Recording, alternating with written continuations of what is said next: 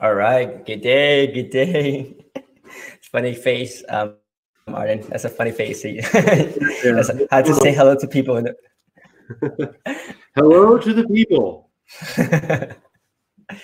well, I'm super excited. Good day, everybody. Um, hope everybody's doing well. We've been having amazing days here in Seattle. Now it's actually today a typical normal day, a rainy day.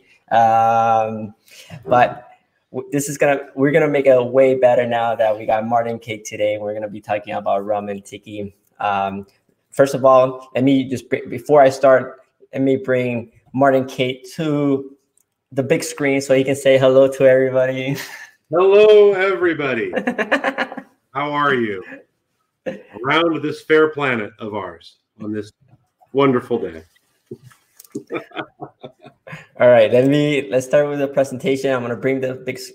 Um, so for today, with regarding the introduction, uh, we have, uh, as mentioned, we got Martin Cate. Let me talk a little bit about the tools that we have. Uh, to the right, there's a chat box. Uh, I see a lot of people have been already writing even since earlier today, which is phenomenal. Uh, if you can let us know, especially let Martin know where you're visiting or where you're from, the city, country, uh, state, it will be phenomenal. Uh, if you have any questions, actually, we also see a lot of people have already put started writing questions. Please write it down on the below, below the screens. And to see this for those people that are watching us through Facebook Live, go to zavvy.co and you can participate directly to this event.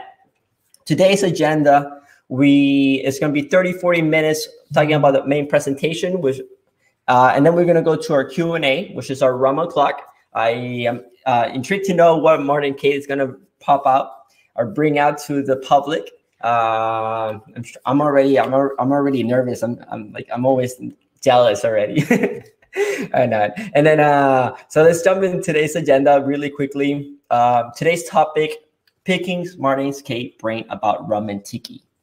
Uh, our guest, of course, is Martin Cate. For those who do not know Martin Cate, uh, Martin Kane, Martin Cate is a rum and exotic cocktail expert and the owner and creator of Smuggler's Cove in San Francisco. Smuggler's Cove features the largest rum selection in the United States and features cocktails from three centuries in uh, centuries of rum history. He's also the co-owner of Whitechapel in San Francisco, Hale Pele in Portland, False Idol in San Diego, and partnered in Lost Lake in Chicago. Um, Martin and Rebecca Cate book uh, Martin and Rebecca Cate book Smuggler's Cove Exotic Rum, uh, Exotic Cocktails, Rum and the Cult of Tiki was published by 10 Speed Press in June of 2006 and won the 2017 James Beard Award for the Best Beverage Book and the 2017 Spirit Award for Best Cocktail Book. I actually, the way I, I met Martin is when I was trying to start the California Rum Festival and our a good friend of ours, uh, Guillaume Lamy, or Guillaume from Plantation Rum. Uh, he's like, Federico, if you want to start a rum festival in, in California, you have to talk to Mr. Martin Cate. Uh, and, and Martin was ever since super nice with me, uh, uh, super helpful. He's been a big mentor of mine for it, for it, things that I do. Well, let me bring Martin K really quickly.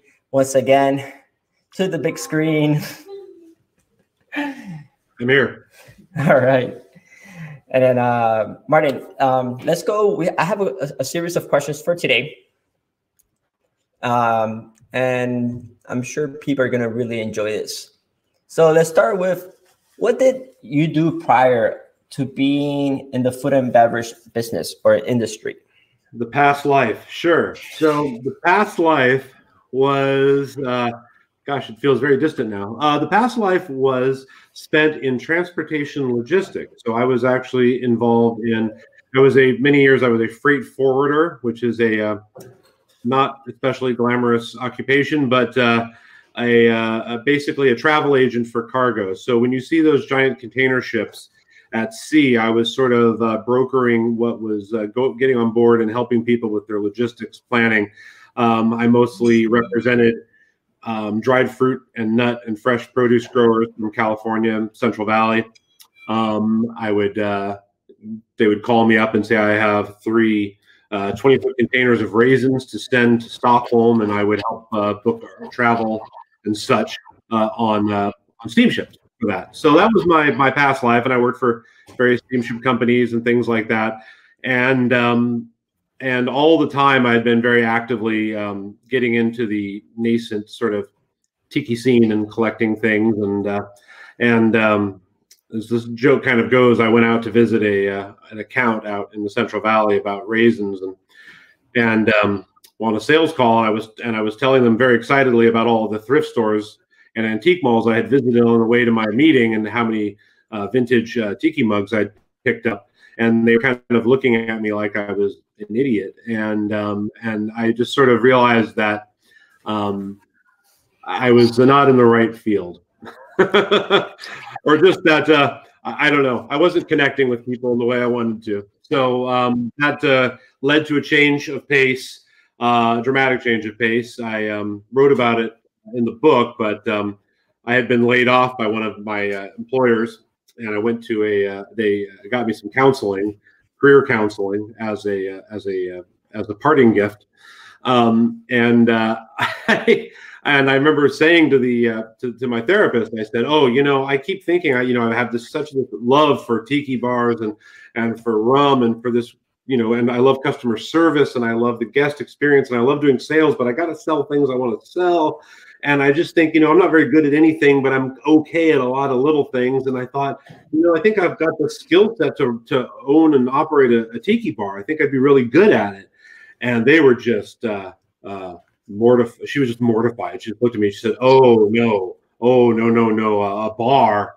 Oh God, I, I, in all good conscience, I couldn't recommend that you open a bar. That would be very irresponsible of me. So, um, anyway, I kind of laugh about that sometimes, but um, you know, eight bars later. Um, eight bars later. Eight bars later. So yeah, uh, but anyway, um, so that was that was the past life. So it was not um, it was not especially glamorous. It was interesting at times, but not especially glamorous. Wow. Well, um, Martin, there's a lot of people here from everywhere. There's uh, people from Sweden, of course, all California, Connecticut, Canada. Mm-hmm. Uh, this is this is this is great. A lot of people do love you. Great. Well, it's nice to see. Yeah. The all right. Um, I, I see a lot of people are already starting to um, put a lot of questions. So this is going to be a great session today. Okay, let's go to question number two. How did you get involved into into the tiki culture, and what happened at the current moment with the culture?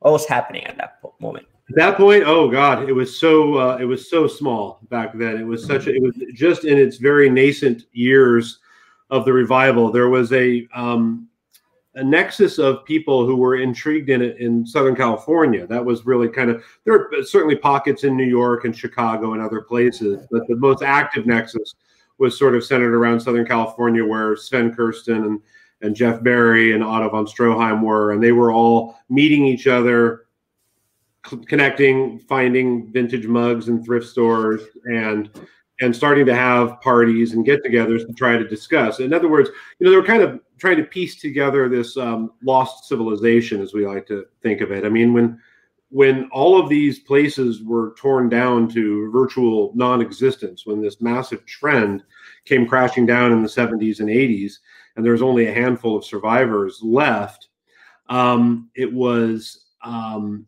you know, it, it became harder and harder to find information and to kind of uh, decode what these places used to look like by finding old postcards or menus and things like that. So when I got into the scene, I was uh, in '94. Um, and it wasn't really a scene yet, but in '94 I went to my first Trader Vic's, which was Washington D.C., which is gone, long gone, sadly. But um, I was completely floored. It absolutely blew my mind. I never knew anything um, could look like that or be like that. I was un, I was an unknown experience to me in in a dining, you know, in a restaurant that you could walk in and have this transformative journey from this very staid and gray marble edifice of the um, of the Hilton in Washington D.C. and you would into the basement and there was just this sort of portal, this magical doorway flanked by flickering torches, and you walked in and everything just changes. And this notion of leaving the outside world behind into this very enveloping, cozy, relaxed environment that really helped, you know, where you could really feel like you could loosen the tie and take a deep breath and just feel tension fall away and just feel like you could you could just relax again. And then, you know, of course you'd have a wonderful you'd have a wonderful tropical drink in your hand and you'd have a um, and uh, you just uh, that was that was the beauty of it. That's what that's what flipped the switch in my mind uh, really and, and fully and formally was seeing that. And so i moved to san francisco after that and my then girlfriend now wife over there um, uh, we built a home tiki bar in our little apartment in san francisco and started to meet other like-minded people. Started to connect with other folks who were in the scene, and um, and had them over to our place, and just started making drinks and piecing together recipes, and uh, and eventually it just kept kind of going from there until I finally decided to uh, have a meltdown. Um, and uh, after my after losing uh, job, being laid off for the I don't know ten thousandth time from a shipping company that was downsizing my position and moving them to Texas. Um, that I would uh, I would uh, go ahead and uh, I, so I, I, said here I'll give you guys a really dated reference. There's some old people on here, but I call this my uh, it, was my uh, Richard Dreyfuss mashed potato mountain moment where I decided to build a home tiki bar at my new place.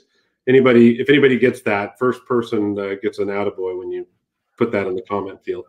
Um, but I, uh, that's where I just kind of flipped out and I just was working from home and decided to build a home bar and then kept doing it for fun until it wasn't fun and it was a job. Thank you, Donovan. Well done. Well done. the well, if Rebecca's around, I'll, I'll, well, she should come and say hello to everybody. One uh, second. At some she, point. You want to say hi to anybody? Let me see. No, she's debating. She's debating. She's in a hoodie. all right, all right. Maybe later. Maybe later. Maybe later.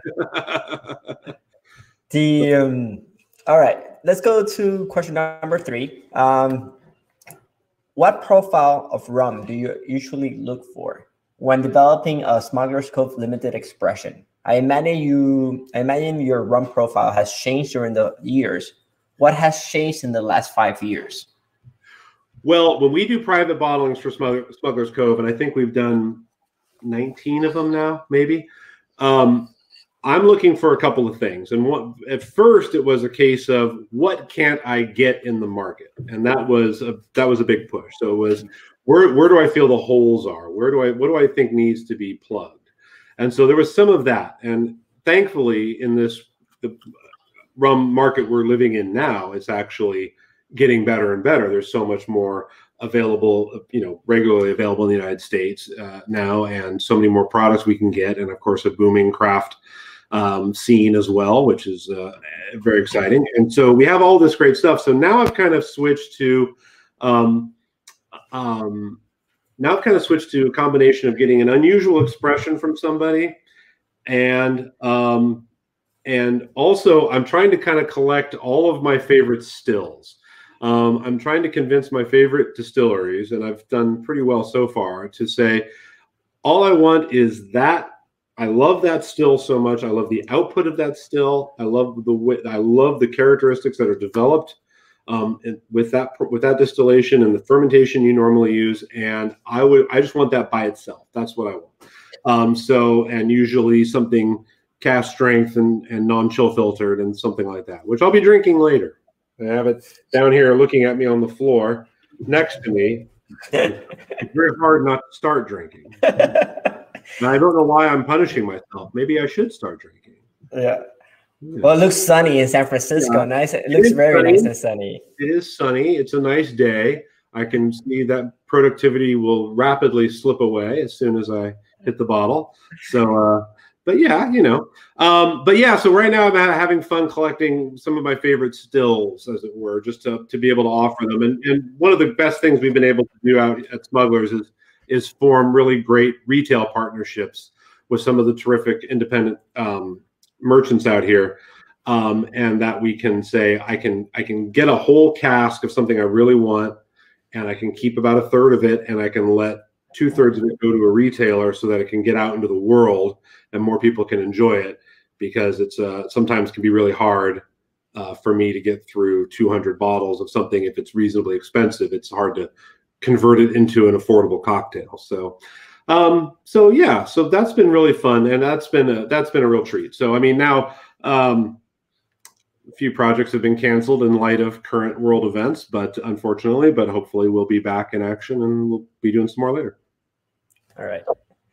I i remember like the first time that i started seeing um it was it was was it plantation rum that started doing one of the first uh brands like additions for for for for for bars yeah plantation started doing um started taking some of their uh more intriguing experiments and uh making them these black label releases and we've done several of those uh that were particularly interesting either because it was a great way to access a a rarely bottled rum or just because the finish that they were using an unusual cask that was kind of exciting. Um, we did one with them recently where we did a a, a wonderful uh, Long Pond uh, Jamaican rum with a pretty nice ester count at a lovely 105 proof and had been finished in a Teeling Irish whiskey cask. And so it really brought some really cool uh, additional sort of unusual malty notes to it. It was just kind of a fun experiment. And so,